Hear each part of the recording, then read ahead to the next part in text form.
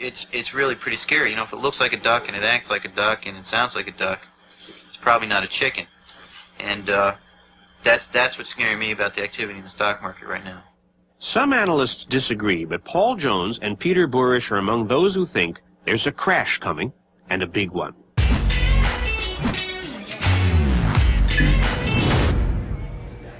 What's going on, everybody? Michael Silva here. You just watched a clip of Peter Borish in 1987 documentary called Trader. He traded alongside Paul Tudor Jones. They worked together and they predicted the 1987 stock market collapse. What I found so important about that collapse was they were predicting it off into the future, so they were way prepared before it happened. Their predictions were about the end of March in 1988. That trade alone brought in the firm $100 million. Dang. Holy dangs.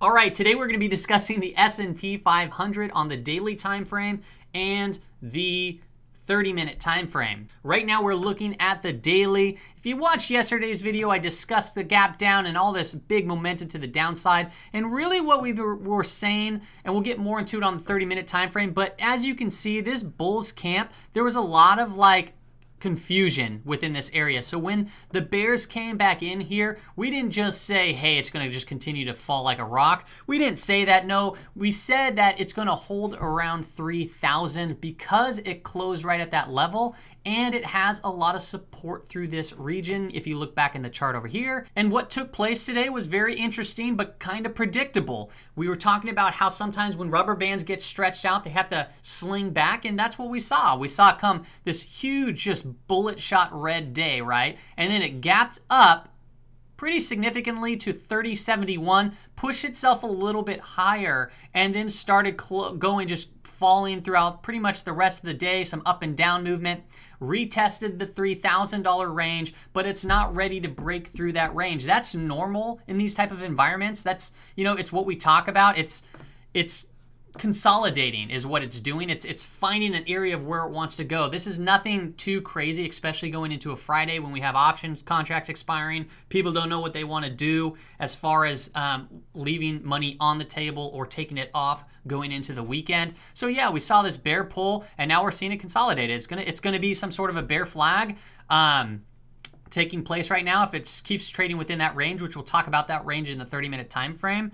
But um that's normal. That it, it's it's normal. So we had a little bit of a little bit of an up day i guess you know just a little bit. Nothing nothing too crazy but it's a very still somewhat you know bearish kind of looking candle. I mean, it gapped up, which was bullish, but then pushed itself down and then worked itself up. And really in the last 30 minutes, which once again we'll go into, it pushed itself back up. It formed somewhat of a hammer candle. So keep that in mind. It's a reversal candle, especially in this context, as drawback, and it created a hammer candle at the $3,000 range and the 200 period moving average. So really what we're going to have to look for is the areas of support, or sorry, the areas of resistance in the 30 minute time frame to see if we can get another more momentum to the upside. Now keep in mind, the overhead resistance here is going to be the top of this um, bull camp Okay. Well, it's not really a bull camp anymore, right? We'll just we'll leave it up there and we'll just work about it. You know, we'll talk about it in another video when I, I remove it. But the resistance is going to be at 3130. That's basically where this gap down from and then pushed itself up. And then you could see acted as resistance here. So that's going to be the area of resistance. And then the next really prominent area is going to be where the window kind of has to close, which is 3164 up to 3180, so it's about a 20 point range. We'll just draw it in right there, but that's gonna be some big overhead resistance that the price would have to get up. Now, windows are typically filled, so I don't see why we wouldn't see some sort of bounce up, especially off of, after an aggressive move.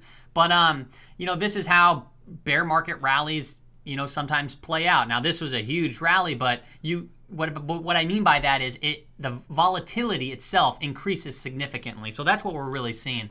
Let's go ahead and hop into the 30 minute time frame and uh, close this thing up here. All right, so we're here at the 30 minute time frame. Check this out. So pretend uh, a bouncy ball, okay? The bouncy ball is right here, and the bouncy ball gets thrown down, woo, and then it bounces from here and then bounces up, wee, right? That's what bouncy balls do, and it comes back down and then bounces up and then landed right here.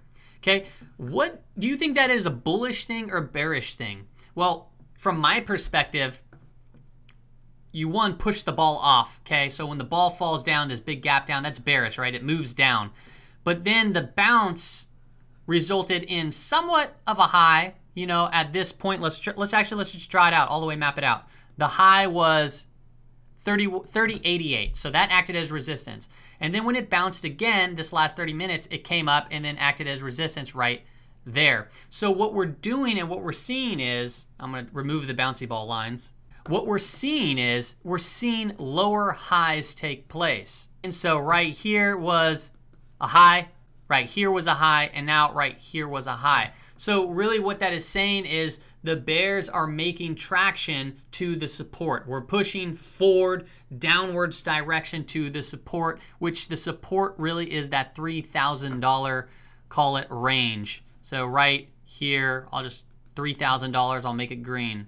So now we have these areas of resistance that are being placed in by the highs of those bounces. So what do we have to see forward? Well, first I want to just point out how these levels of resistance played out in the past. So notice here, if I scroll back, check this out. The high of right here, um, 3087, as you can see back here, it acted as a support. So it came all the way down, bounced from that level.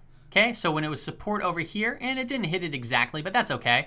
It then came down over in this range, okay, broke through and then acted as resistance, came down, and then it came back and acted as resistance again. So this 3088, 3100 level, it's a range, right? Those are big areas of resistance. And then the next level of resistance, this is resistance because it didn't close above it on the last 30 minutes. But if I scroll back in the history of the chart, you can also see how it interacted within this uh, time frame of the chart. It acted as resistance, then acted as support right here, resistance, then support, then broke through, back tested it, then it kept on getting rejected, rejected. Then it kind of went sideways, and then boom, from that point, it moved itself up. So both very prominent areas. This uh, it says 3048. Let's call it 3050 for rounding purposes. So that's 3050. This will be let's just call it 3095 because it's between, you know, 3100 and 3090 or 30 whatever. So that'll be 3095 is going to be the first level of resistance. We have 3050, which is going to be the next level of resistance. And then the main area of support that we need to keep an eye on is going to be this $3,000 range. Now, the upper part of this portion, the very highest level, which, you know, may come into play, will be that 31 let's call it 3130. Um, I mean, you never know. It, it, might interact within this time period or in the next on Monday's opening, but eh, it's it's a big price move to move within a single day. Very possible. We've seen that type of action, but it's not really on my radar at this particular point in time. Maybe maybe Tuesday it might be, but we'll see. But so basically, what we got going on here is we got going into Monday. We have two really prominent areas of resistance, and then we have this one support to keep an eye on. Really, to see this support broken and turn into resistance will give me more of confidence that the price action will start to head a little bit lower. Till that time, though, I still think that the market's going to want to see a new high. I still think that that's in the, the picture frame or potentially close this window that's up here that we were talking about. People say, you know, it's a island reversal. I don't, you know, it is what it is. I, you know, I call it an island in the sky. You can call it whatever you want. It doesn't really matter. But it, basically, what took place was it gapped up and then gapped down and left some, you know, clouds in the sky right there. So that is pretty much all I have for you today. There wasn't really anything too much on the news. Nothing really much going on. I don't have any positions holding over the weekend other than some gold positions, and I'm hoping that that breaks lower. And then I also have some uh, gold mining, silver mining positions that I also wish and hope that go lower because that's the only thing that I feel comfortable with um, dollar cost averaging into at this particular point in time. Um, that's all I really have for you today. We have those three levels. Keep an eye on them. Ask me questions in the comments if you have any. See ya.